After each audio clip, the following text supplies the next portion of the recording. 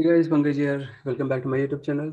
So from today onwards, I'm going to make a video on statistics topic and whatever topic I'm going to cover that will be good enough for the project or application you're going to develop under uh, data science. Okay, so remember guys, the statistics is very vast topic and you will not be able to cover 100% and covering 100% is also not required because a lot of uh, topics will be there under statistics topic which might not be relevant for data science also okay. So only heavily used or frequently used topics are covered under this and you will become master on that uh, once you cover all the statistics video uh, whatever i'm going to make. Okay so uh, let's see uh, all the topics here. So what is agenda under statistics so we will see what is statistics why and where we need statistics and various types of statistics important topics to be covered under statistics. This is what I was talking. Okay, so not 100%, but whatever is heavily or frequently used topics will be covered. Okay, so first we'll see what is statistics. So statistics is the science concerned with developing and studying methods for collecting, analyzing, interpreting, and presenting empirical data. Okay, so you have seen my EDA videos, right? So what exactly we did there? So we collected the data uh, either from the third party or from the Google we downloaded. And later we started analyzing and we did a lot of data cleaning. Okay, so under data cleaning also you would have seen I applied a lot of statistical method like mean, median, mode for filling the blank values, right? So that comes under analyzing and uh, cleaning the data, okay? And interpreting and presenting. So interpret like, okay, we were seeing like uh, uh, let's talk about the mode, right? So we were seeing like whatever data sets are present, like which is very highly or very uh, frequently uh, coming value under uh, categorical data, right? So what we can interpret. So some of the value which is coming very frequently, we can see like this is most of the data are coming under this particular category, right? And if some numerical data is there, then uh, we were doing KD plot, right? So how or histogram plot, right? So we were seeing like uh, most of the frequent values are coming to, let's say, if you talk about Titanic data set, right? We were talking about the age feature, right? So under age, we were seeing mostly youngsters who are boarded in the uh, Titanic and their age was close to 25 to 30 uh, age, 30 years age, correct? So that's what comes under interpreting and presenting empirical data, empirical data. So what comes under presenting? So you will be doing a lot of visualization, right? After data cleaning, we used KD plot, histogram plot, distribution plot, count plot, bar plot, scatter plot, box plot, violin plot. Okay, so those comes under presenting. So that is what we are going to do under statistics. Okay, so we'll see uh, again with a lot of examples and a lot of uh, data which we'll be taking either from third party or we'll be generating some random data set and based on that we will be applying various statistical methods. Okay, so why and where we need statistics. This is very important topic guys okay and very important to know why exactly we use and where exactly we are going to use. So let's talk about why. So statistical knowledge helps you use the proper methods to collect the data employ the correct analysis and effectively present the results which we already saw correct? Statistics is a crucial process behind how we make discoveries in science make decisions based on data and make predictions. So the last line clearly tells uh, what we did under EDA right? So what is telling make decisions based on data. So what we did, we took the age column of the Titanic data set. Okay. And a lot of values were missing, right? So we decided after looking at the value, we saw, okay, uh, most of the person who boarded, they were belonging to 25 to 30 age, right? So we decided, okay, those, whatever is missing, let's go ahead and fill the median of those age value and just fill the NN values. Okay. So that's how we read the data, we saw the data, and we made the decision to go ahead with the mean or median of the data and fill the NN values. Okay, so that's what uh, that that's why we are using statistical here, statistical methods. So that answers your why factor. Okay, now what is where factor? So statistician people who do statistics are particularly concerned with read this line very carefully. Okay, concerned with determining how to draw reliable conclusions about large groups and general events from the behavior and other observable characteristic of small samples. Okay, so whenever you talk about the large data, right? So we'll be having very large population data and from that population data, we will be picking only few samples. Okay, because not every data we will be able to analyze because let's talk about the Indian population? It's 1.3 million, right? Okay, so we we will not be, let's say you are going to collect some data from each people, right? It is going to take ages to collect the data. What will do? We'll take maybe one lakh people data, maybe 50,000 and do some analysis. Okay, and we will do some infer, uh, we will draw some conclusion based on those samples. So that's what this line tells, determining how to draw reliable conclusions about large groups and general events from the behavior and other observable characteristics of small samples. Okay, so these small samples represent the portion of the large group. That's what I told. From population, we'll pick few samples. That is the sample. Okay, from large group or a limited number of instances of a general phenomena. Okay, so that's that's what answers your where factor. Let's go to the next slide. Okay, so when you talk about statistics, there are two kind of statistics, descriptive and inferential. So let's see what is descriptive. So descriptive statistics uses data that provides a description of the population, either through numerical calculation or graph or table. So this is what we have been seeing uh, in the EDA part.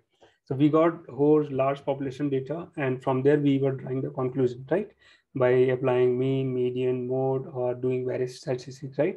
That was your descriptive study, which describes your data.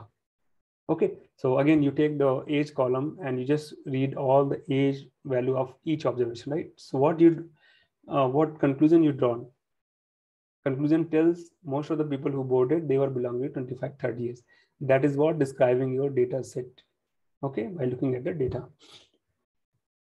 Okay, similarly, we had, uh, let's say, uh, passenger class, right? So that is categorical value.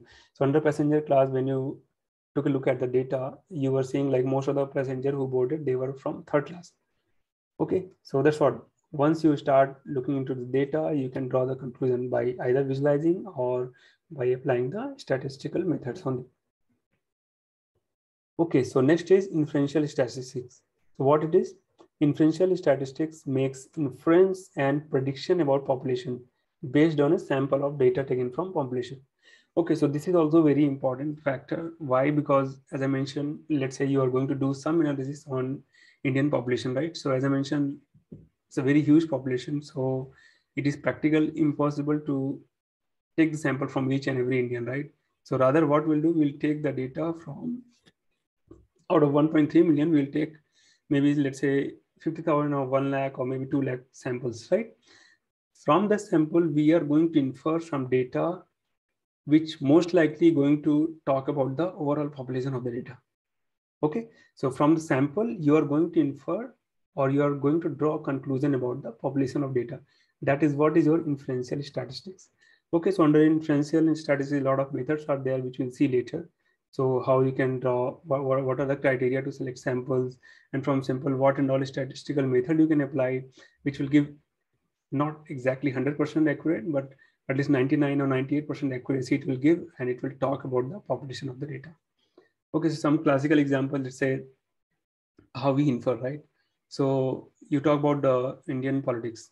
Okay, so let, let's say Indian election, right? So you would have seen in the news channel, they go for exit polling, right? So under exit polling, what they do?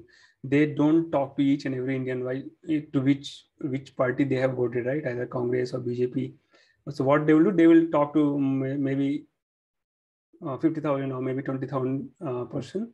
And based on that, whatever data they collected, they will try to infer, okay, most of the population is going or they have voted to BJP or they have voted to uh, Congress. Okay, that's how they infer. That comes under inferential statistics. Every news channel does that. Okay. Now, similarly, you talk about some drug test, right? So let's say some new, let's forget about new. You talk about recently uh, COVID vaccine, whatever they have developed, right?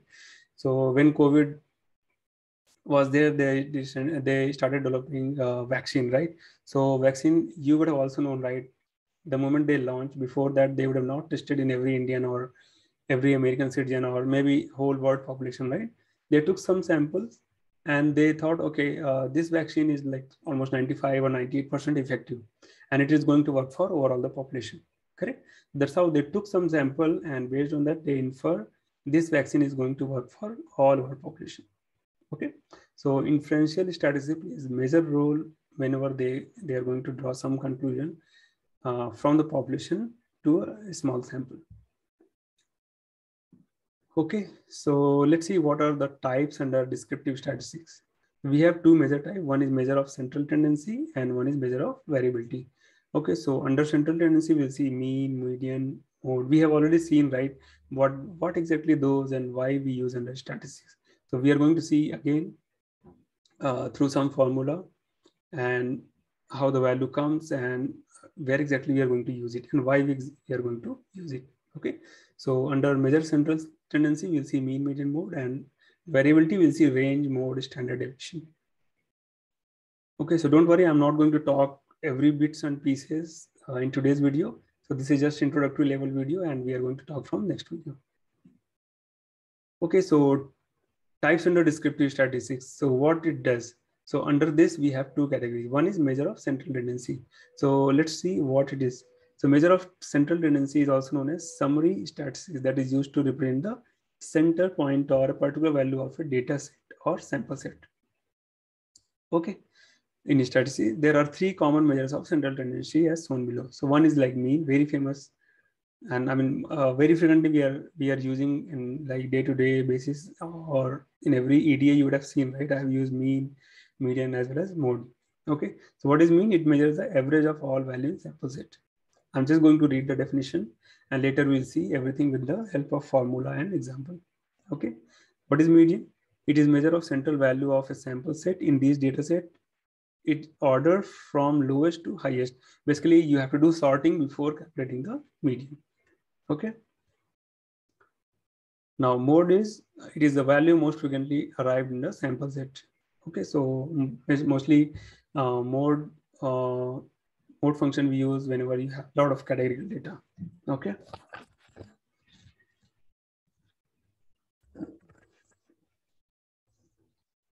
So it is value most frequently arrived in sample set. The value repeated most of the time or the value which is coming very frequently or highly occurred value will be talking about the central set of data.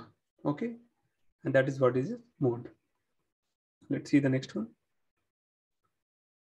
So another one we have measure of variability. So we talked about the central tendency. Now how the data is varying. So let's talk about the mean. From mean, what about other data? How much it is varying from the mean? That's where you uh, talk about measure of variability. Okay.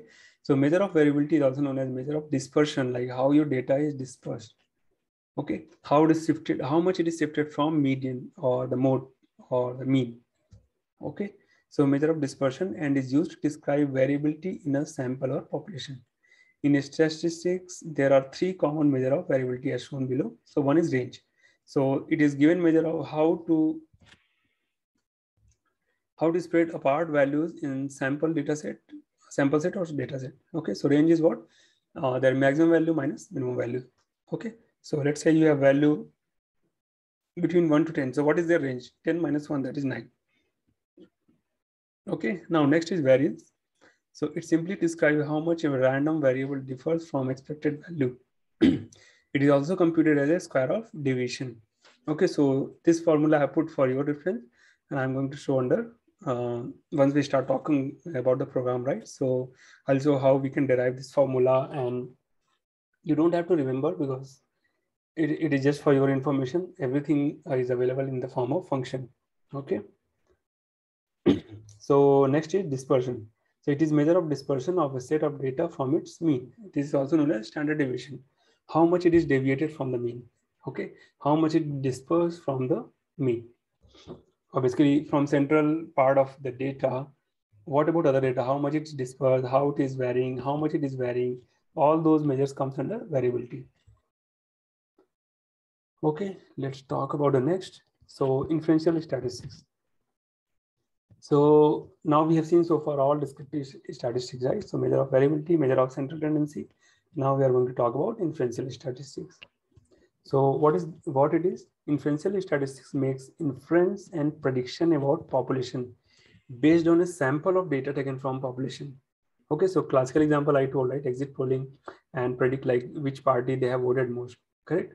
And drug test, which drug is like whether drug is going to be effective for population or not. Okay, that comes under inferential statistics. From population, they are taking the small sample. It generalize a large data set implies probabilities to draw a conclusion. Okay. So as I mentioned, from population, take a sample, do a lot of uh, statistical calculation and draw a conclusion whether it is really going to be effective or going to be applied for the large population or not. It is simply used for explaining meaning of descriptive stats. Okay. So there are many ways to perform inferential statistics. However, some highly practices are listed below. Okay, so one is like hypothesis testing. We'll see its theory and what is the formula, what are various thumb rule uh, to perform a hypothesis testing. Okay, so let's read about it, what it is. Hypothesis testing involves checking that your samples repeat the results of your hypothesis or proposed explanation. So basically you will have problem statement under that they will be proposing some statement, okay, or proposing some explanation. Okay, so that is your result of your hypothesis. The aim is to rule out the possibility that a given result has occurred by chance. So they would have given a result. Let's say you have taken drug test for a sample, right? So they're telling drug test is effective uh, over 98% of the population. That is your conclusion from the data set. Okay. So we can take this as a null hypothesis. And what is whatever what is alternate hypothesis? Like that 98% it is not. It may be effective less than 90% or maybe 99%. One of them you can choose as a alternate hypothesis. So you need to rule out whether it is really 98% effective or not. So we'll see various examples and you know calculation, then you'll understand what it is. So sometimes it becomes very confusing, and until you try various examples and see what are the underlying formulas under this, then then it will make your life easy to understand hypothesis testing.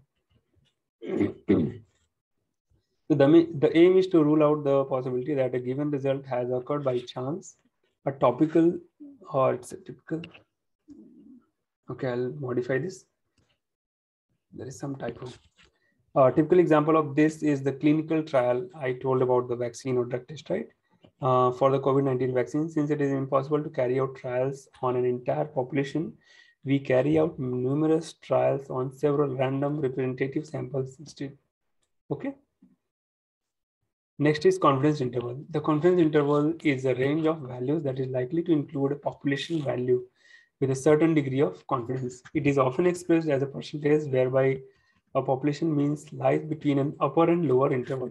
okay, this also we'll see based on normal distribution using bell curve, like how how the confidence interval varies and under what percentage your most of the population will come. Okay, so this we'll see eh, based on the graph. Regression and correlation analysis. So regression and correlation analysis are both techniques used for observing how two or more sets of variables relate to one another. Okay, so basically we'll be drawing a lot of correlation. So this basically, let me just show one example here. I hope, okay, I'll show this. Just a minute.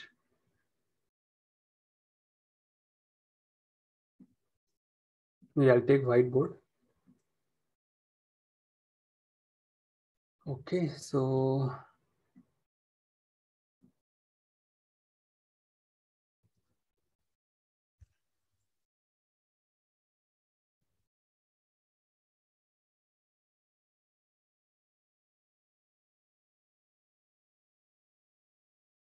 yeah so what basically we are talking under correlation right so let's say you have given a lot of values right so we'll have so many graphs Okay, so let's say you have one x-axis and one y-axis, and here you have a lot of samples. Okay.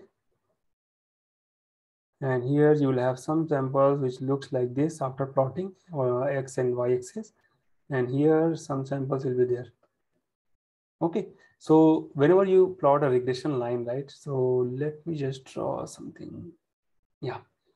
So let's say you're drawing a line this is nothing but a regression line. So I'll be talk about the linear regression and all.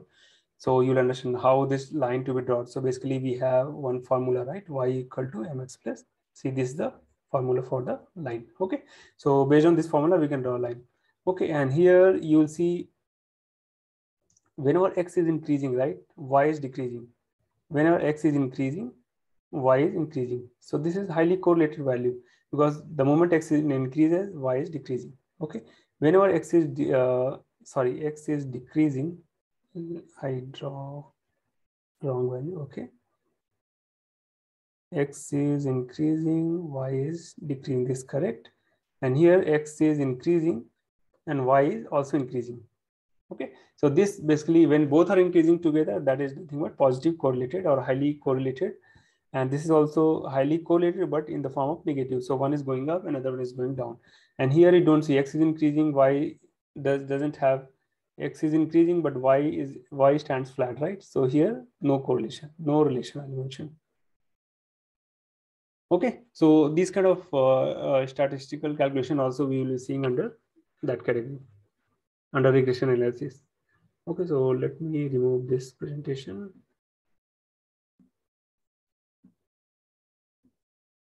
The share?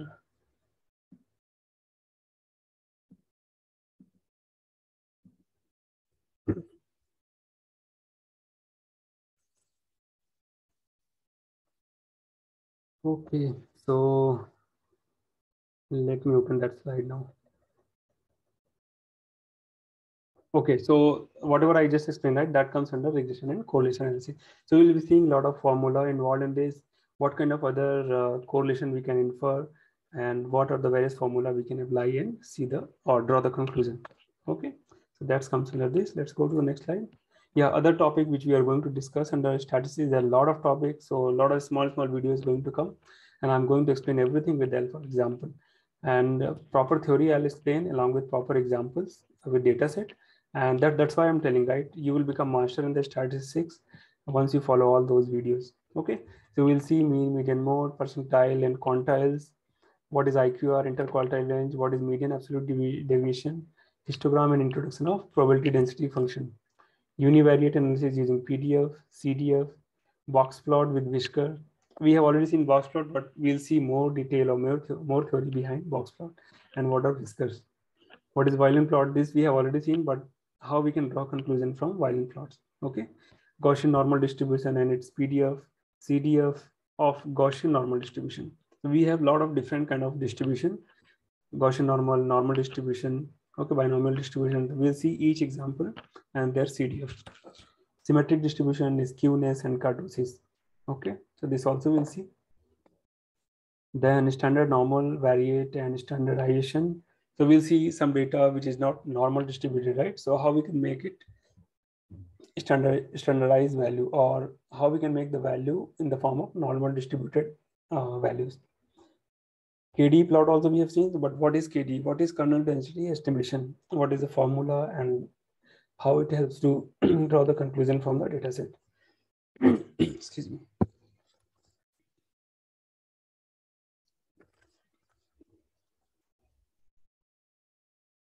Then we'll see sampling distribution, central limit theorem, QQ plot, how to test it if random variable is normality distributed or not. Okay, that will come under QQ plot. then we'll see Chebyshev inequality, discrete and continuous and uniform distribution, how to randomly sample data points, what is Bernoulli and binomial distribution, log normal distribution, Box-Cox transform, okay. What, what is covariance, Pearson correlation coefficient. So we'll see a lot of coefficient and uh, different correlation, right? They each correlation is having some positive facts and negative facts, right? and some problems are there so how to work on those problems so there will be separate correlation like Spearman rank correlation correlation versus causation how to use correlation what is confidence interval and hypothesis testing methodology null hypothesis and their p-value under this we'll see a lot of various example how you can apply hypothesis testing on that particular data set okay so these are topic this is not only limited to this i will be covering little more topic which is not mentioned here so as we go along with the video, right, or different different topics, we'll get to know some more topics. I'll cover the video on that also. Okay, guys, so that's all about this. This is the introduction about the statistics, what and all I'm going to cover and how it is going to help you in machine learning algorithm also.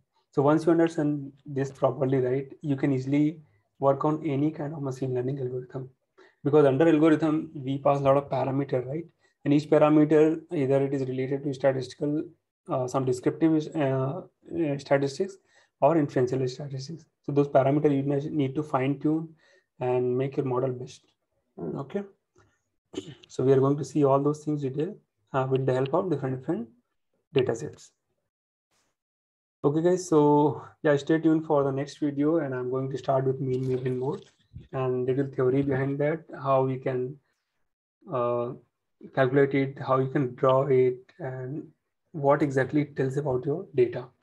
Okay, that's how we are going to learn for each topic. Okay, guys, so that's all from my side today and see you in the next video. Thank you so much. Bye-bye.